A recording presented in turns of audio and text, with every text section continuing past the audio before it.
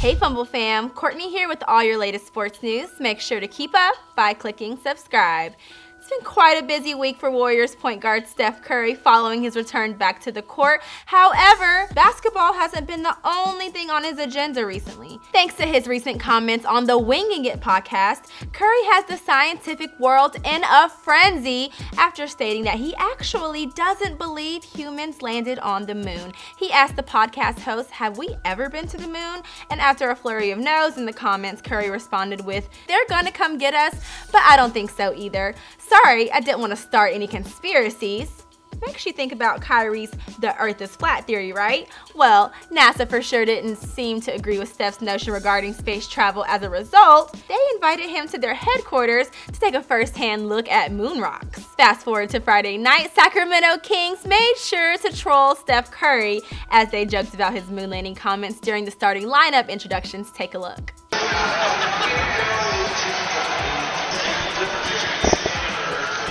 That's pretty good. You see that, Grant? What's that? They did the moon thing when Steph. Oh, really?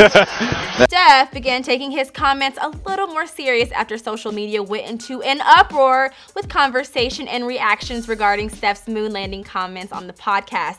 As a result, Steph has been extremely apologetic about the impact his comments may have on the public. He stated in a recent Instagram live conversation that he was in no way trying to undermine the accomplishments of the 12 astronauts who landed on the moon. He also stated many influential people connected to NASA and space travel reached out to Steph Curry about his comments, trying to inform and educate him about Earth and space conspiracy. The list includes NASA astronauts and even former President Barack Obama. Steph even recorded an Instagram Live interview between himself and NASA astronaut Scott Kelly, who spent 340 days orbiting the Earth on the International Space Orbit. Career was the time I spent for a long time in space. And, about uh, two years, right? Yeah, uh, I spent 520 days total, and then um, but 340 days at one time.